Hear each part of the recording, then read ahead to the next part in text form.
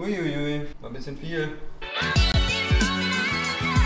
Hi, ich bin Fabian und herzlich willkommen zu Tag 2 auf Mallorca. Einen wunderschönen guten Morgen. Wir besorgen gerade zusammen Brötchen. Mathis? Moin. Heute ist einiges geplant. Wir werden heute auf jeden Fall viel Alcudia erkunden. Gestern war auch noch einiges los. Da werde ich auch vielleicht noch mal ein paar Bilder hier einblenden, äh, wie wir eben durch die Nacht gelaufen sind. Und dann geht's jetzt los.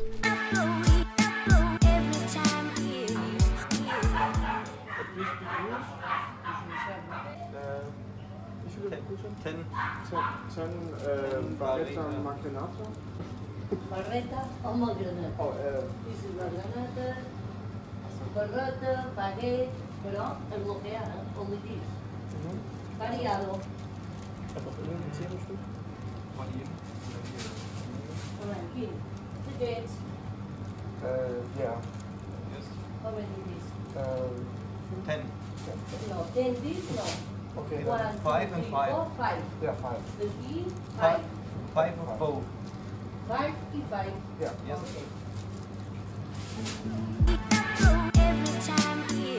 Also der Kaffee ist jetzt gemacht, aber ja, wir haben hier eigentlich auch sowas wie eine Kaffeemaschine für diese Aufsätze eben.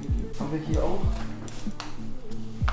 Aber es ist nur Espresso und ich habe jetzt nicht so Bock auf Espresso. Wenn, dann müssten wir dann noch was besorgen. Aber mir reicht auch der Kaffee, den ich jetzt hier, das ist halt so ganz normaler Nescafé.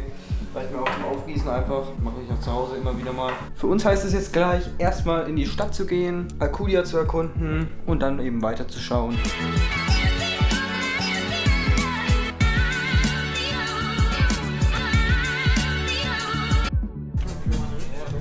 Das sind ja auf jeden Fall sehr interessante Klamotten. Das passt halt hierher, aber bestimmt nicht nach Deutschland.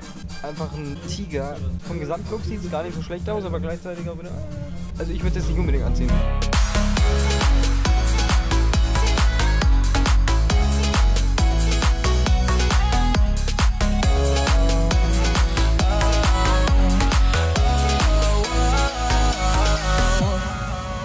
Gegen Wassermelonen habe ich ja nichts.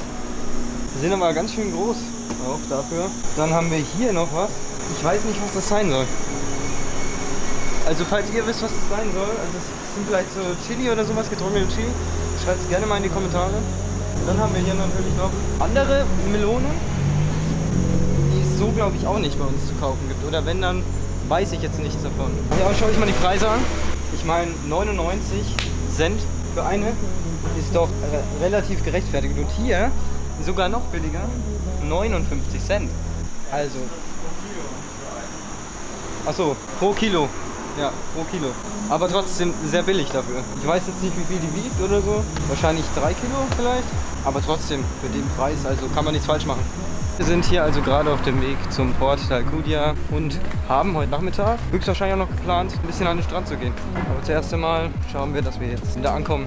Bisheriges Fazit, Alcudia ist relativ verwinkelt, vor allem die Altstadt eben. Aber an sich hat es sehr schöne Gassen, ist halt auch komplett anders als eben jetzt in Deutschland. Ne? Immer wieder kann man nur erwähnen, es ist anders, die Häuser sind halt auch irgendwie so ein bisschen, ja, nicht so modern oder so ein bisschen älter heruntergekommen. Aber ja, hier ist eine Baustelle, sehr geil. Es macht einfach Spaß, hier eben durchzugehen.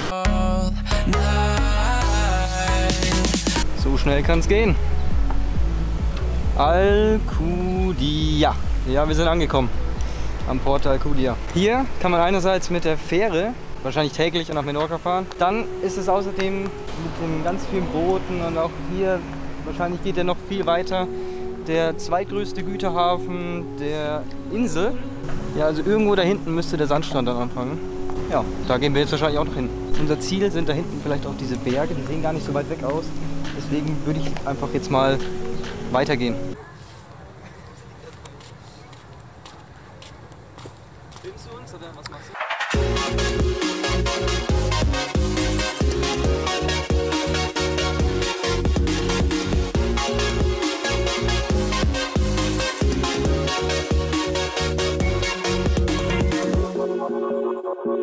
Ach ja, wie habe ich das vermisst? Da ist er, der 40 Kilometer lange Sandstrand. Ich glaube, das ist so der krasseste Strand, den ich bisher überhaupt in meinem Leben gesehen habe. Vom Sand her ist es natürlich jetzt hier. Ja, der ist relativ nass. Aber wenn man ein bisschen weiter nach hinten geht, dann ist der nämlich auch feinsandig. Es ist einfach so geil. Freue mich auf jeden Fall dann heute Nachmittag hier noch ein bisschen baden zu gehen. Auch mit den Palmen. Palmen generell habe ich kaum bisher gesehen. Das ist einfach geil. Und ich fühle es. Hat einen richtig geilen Vibe.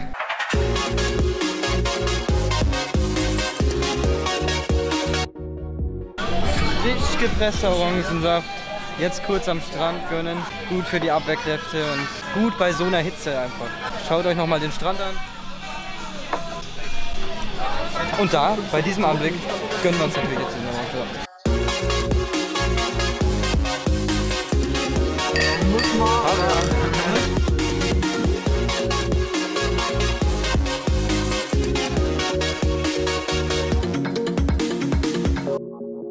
Hier haben wir noch im Hintergrund so eine Art Beobachtungsturm. Und wenn ihr hier oben ganz genau hinschaut, dann seht ihr da eben eine grüne Flagge. Und grüne Flagge bedeutet Schwimmen erlaubt. Dann orange bedeutet, dass eben der Bademeister, der halt alles beobachtet, der ist eben dann nicht anwesend. Und gelb bedeutet eben, dass ja so eine Gefahr besteht. Ich weiß jetzt nicht genau durch was, vielleicht durch Unwetter oder so. Und rot bedeutet eben, dass man überhaupt nicht baden darf. Und dann gibt es eben auch noch äh, die Flagge, wo so eine Qualle zu sehen ist. Da ist es eben logischerweise dann so, dass so gefährliche Quallen oder so, die Feuerquelle wahrscheinlich oder so, da rumschwimmt eben. Das ist soweit dazu.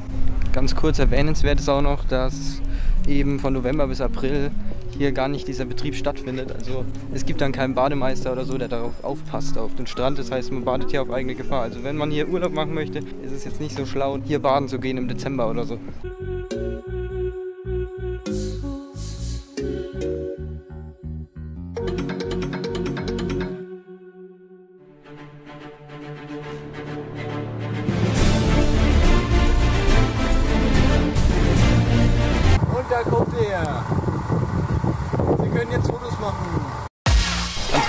Kurzer Real Talk.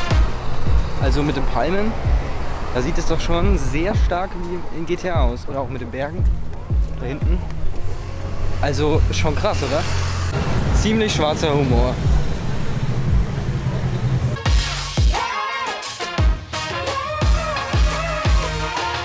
Ich kam mir noch nie so cool vor am Strand.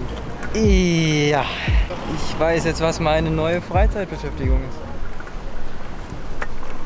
Ja, passt weiter. Ich trete hier einfach ein bisschen. Auf ganz entspannt. Kommen wir uns auch. Ja, genau, ist befreit. Kummer und Sorgen.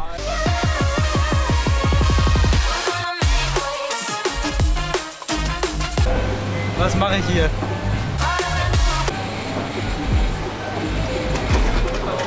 Reicht?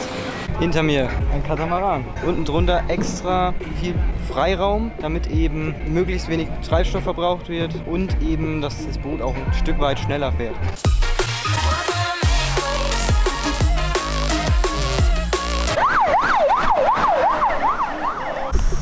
Und nein, wir sind nicht in Amerika. Wir sind hier in Spanien. Und das, was wir hier gerade gesehen haben, war ein spanisches Polizeiauto. Wusste ich jetzt auch persönlich nicht, dass die andere Sirenen haben als in Deutschland oder so. Aber hat auch wieder einen Vibe.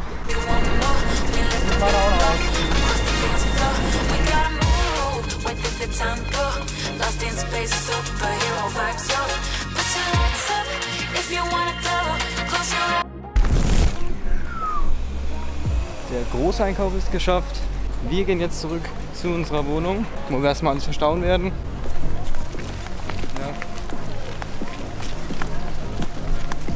Meine Tüte. Ja, alles für morgen und für heute Abend. Heute Abend gibt es dann. Ja, was gibt es heute Abend? Ja, Vorspeise sind die Nudeln von gestern. Ähm, die werden wir mit Olivenöl und ähm, ja, Käse essen. Und ähm, als Hauptspeise gibt es dann äh, Nack Schweinenackensteaks. Mit der Beilage müssen wir noch gucken. Ja. Okay. Also sehr lecker. Und morgen, wenn wir eben zum Cap Formentor gehen, da wird es dann wahrscheinlich eher nur so einen Snack geben. Wir haben jetzt Baguettes eingekauft, aber das werden wir morgen sehen. Jetzt geht es erstmal zurück zur Unterkunft und dann sehen wir weiter.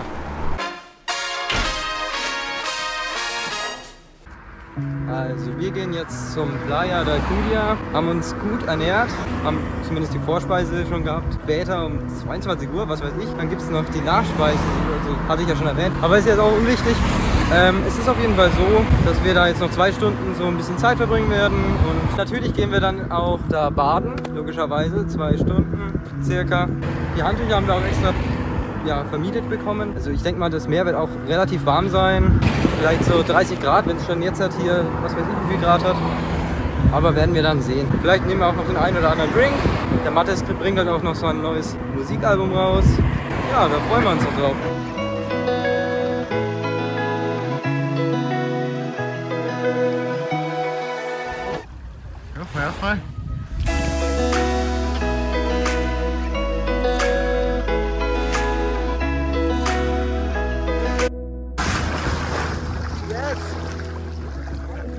Geil, Mann!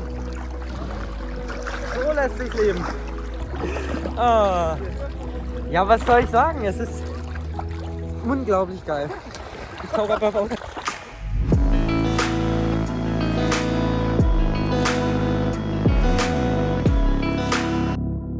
Also ich sag mal so, der Strand ist sehr besonders. Es ist so der krasseste Strand eben, den ich bisher erlebt habe.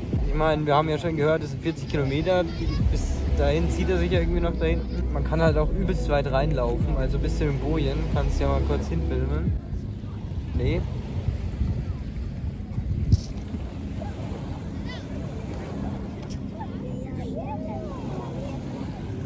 Genau. An sich habe ich mir irgendwie ganz anders vorgestellt. Das Wasser ist jetzt nicht unbedingt, es sind nicht 30 Grad, wie ich vielleicht mal behauptet habe, aber es sind trotzdem 20 bis 25 Grad vielleicht so. An sich entspannen wir jetzt hier noch ein bisschen, gehen dann eben zurück zur Ferienwohnung und da gibt es dann eben noch Schweinerückensteg oder was es ist. Und ciao. Richtig mal.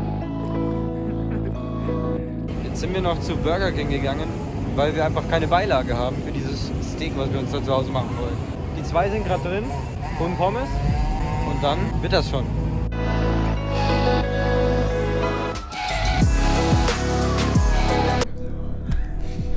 Da haben wir nun also unser Steak.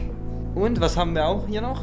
Tomatenketchup. Was gar nicht so einfach zu finden war. Denn es gab nur noch einen Tomatenketchup und das Ganze hat sogar 4 Euro gekostet. Bei Burger King gab es überhaupt keinen Tomatenketchup. Ich habe keine Ahnung warum. Egal. Wir lassen uns auf jeden Fall jetzt hier dieses Steak schmecken. Und damit beende ich diesen Vlog. Morgen ist Cap Formentor geplant. Da werden wir auch wieder sehr viel geile Shots bekommen, weil es eben der nördlichste Punkt von Mallorca ist. Da ist es so eine Art Leuchtturm. Dafür sind wir ja hier, dass wir ein bisschen was erkunden. Damit war's das für heute. Wir sehen uns morgen wieder. Bis dahin. Ciao, ciao. Du musst noch eine Abmoderation machen.